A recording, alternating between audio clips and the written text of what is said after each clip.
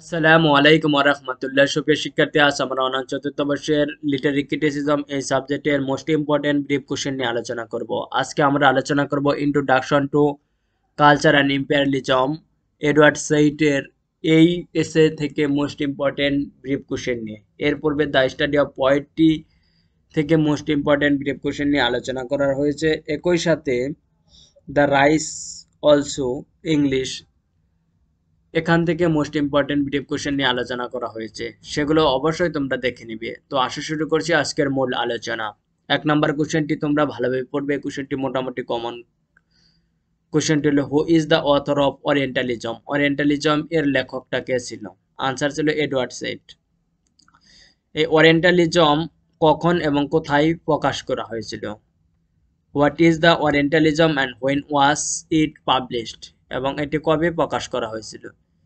Answer Orientalism is a famous critical work of Edward Said was published in nineteen এই উনিশশো আটাত্তর সালে Edward সেইট এটি প্রকাশ করেছিল। তিন নম্বর কোশ্চেনটি খুবই কমন এই কোশ্চেনটি তোমরা ভালোভাবে পড়বে। What was the result of Said's research on culture and imperialism Answer. The result of Said's research on culture and imperialism was a series of lectures delivered by him at different universities in the United States, Canada, and England during the years 1985 and 1986. সবই শিক্ষার্থী চার number কোশ্চেনটি খুবই খুবই common এই কোশ্চেনটি তোমরা ভালোভাবে পড়বে what does Orientalism mainly deal with Orientalism সাধারণত প্রধানত কোন বিষয়টি নিয়ে আলোচনা করেছে? Answer Orientalism mainly deals with the affairs of the Middle East পাঁচ নাম্বার কোশ্চেনটি ভালোভাবে পড়বে, এই কোশ্চেনটি মোটামুটি common what is Robinson Crusoe about এই রবিনসন ক্রুশো সাধারণত কি সম্পর্কে? Robinson Crusoe a modern Robinson Crusoe, a modern realistic novel of Daniel Defoe, is about a European who establishes a dominion of a feudal lord on the distant non-European island.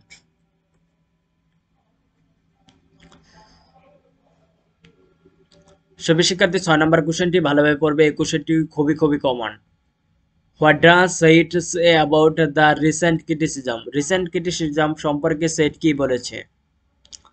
Said say that through much of recent criticism has directed to narrative fiction its position in the history and imperial world has remained ignored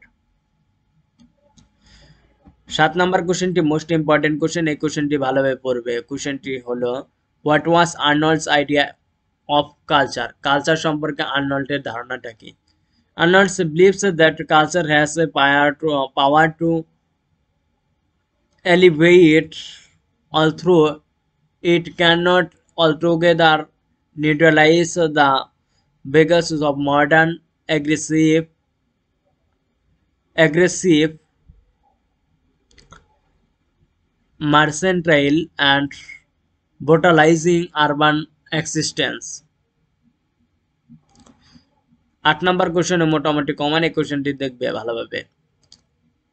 How does Said admire Dante and Shakespeare Dante এবং শেক্সপিয়ারকে কেন Said প্রশংসা করেছে? Answer according to Said Dante and Shakespeare give mankind the best that was thought and known the realistic picture of life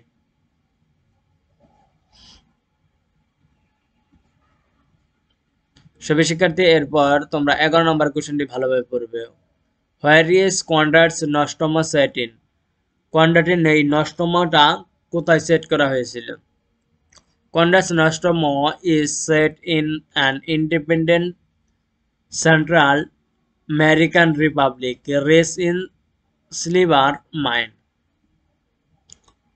বারো number কোশ্চেনটি খুবই common what does Conrad's Nostromo forecast Conrad's Nostromo forecast the unrest unstoppable, unrest, and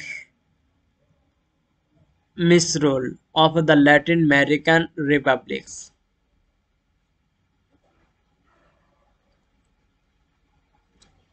What is the source of culture and imperialism এই culture এবং ইম্পেরিয়ালিজমের সোর্সটা কি? Orientalism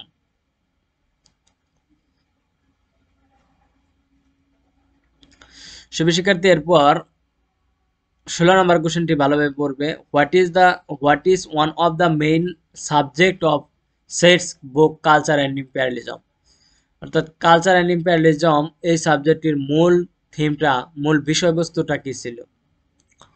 The historical experience in relationship culture and artistic forms is one of the main subject of Said's book Culture and Imperialism.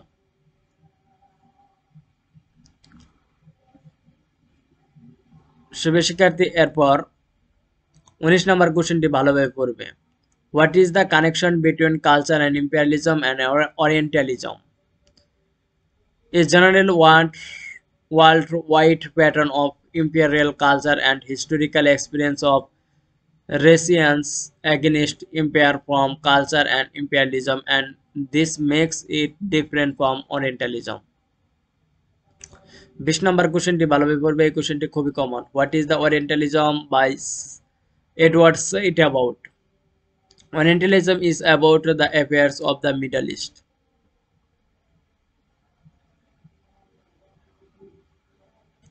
এরপর তোমরা বাইশ number কোশ্চেনটি ভালোভাবে পড়বে বাইশ নাম্বার কোশ্চেনটি মোস্ট ইম্পর্টেন্ট একটি question who according to Said are the children of decolonization and why?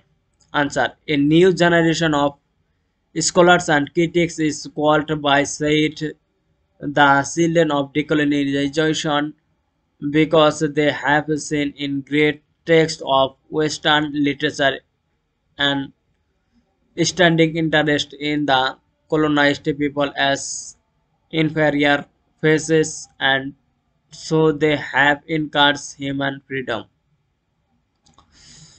তেইশ নম্বর কোশ্চেনটি মোটামুটি কমন এই কোশ্চেনটি ভালোভাবে পড়বে why does Edward Said call New York in an exile city par excellence Edward Said calls New York an exile city par excellence because it bears all the characteristics on the Messianians, uh, Manicians structure of the colonial city. শুভ শিক্ষার্থী আছে পর্যন্ত এরপর তোমরা কোন সাবজেক্টের কোন পার্টের সর্বশেষ ফাইনাল সাজেশন চাও তা আমাদের কমেন্ট করে জানাও আমরা আপলোড করার চেষ্টা করব ততক্ষণ তোমরা সবাই সুস্থ থাকো, ভালো থাকো, সুন্দরভাবে পরীক্ষা দাও। এ প্রত্যাশা আজকের মতো। আল্লাহ হাফেজ।